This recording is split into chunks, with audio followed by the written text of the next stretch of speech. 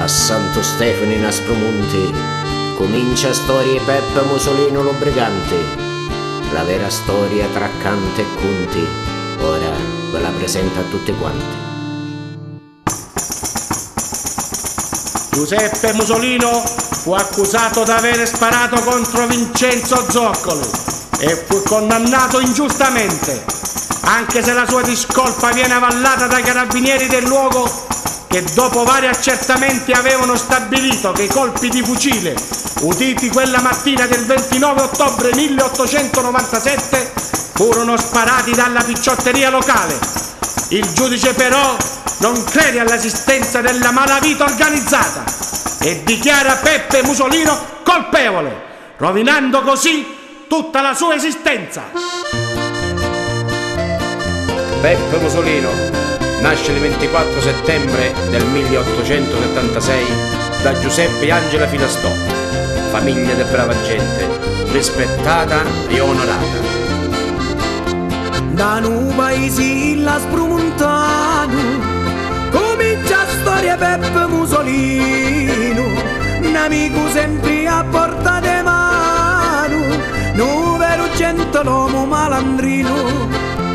E Peppe era un giovane d'onori Sapeva tutti i regole e doveri E l'umiltà regnava in suo cuore Ha un bisogno pronto a favorire Giovane abile, di cuore nobile e generoso, ma nello stesso tempo audace, forte e ribelle. Già a sette anni il parroco del paese, don Giuseppe Mangeruca, lo aveva definito scostumatello. Lui ogni vanto bosco a lavorare, da lupo a merci lignoso misteri, li femmini faceva innamorare, ma una sulerante so pensieri, a sera alla putia con l'amici,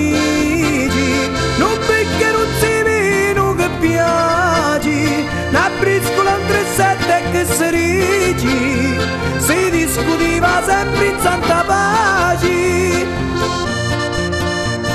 Ma la sfortuna volle che la madre morì ancora giovane e questo influì molto sul carattere di Peppino, che passa la sua infanzia tra le vie e le bettole del paese, tra i boschi e i sentieri dell'Aspromonte.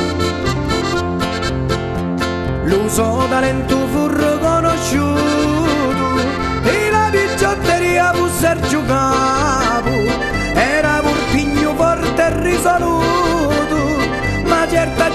l'hanno invidiato e fu destino sorti sua crudeli